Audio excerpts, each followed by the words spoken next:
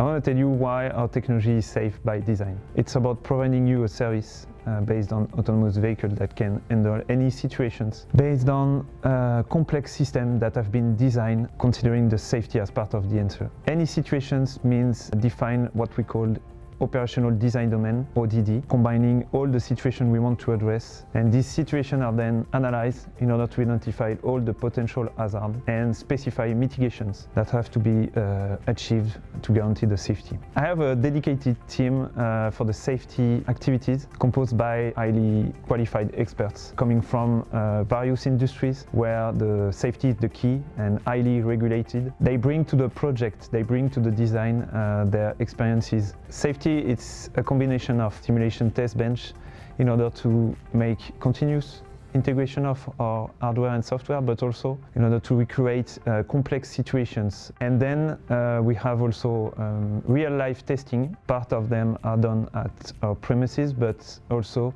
done with a partner like laboratory to recreate complex situation, dynamic situation where we have bicyclists, pedestrians, other vehicles, but also to recreate harsh weather conditions. To guarantee and to demonstrate our safety, we need also an independent judgment from experts. So we bring from the very beginning of projects independent or third party assessor in order to have this independent judgment about the behavior the performance, but also the integrity of all of our safety architectures. So you see, EasyMile's technology is complex, but the result is simple, smart, reliable, and objectively safe.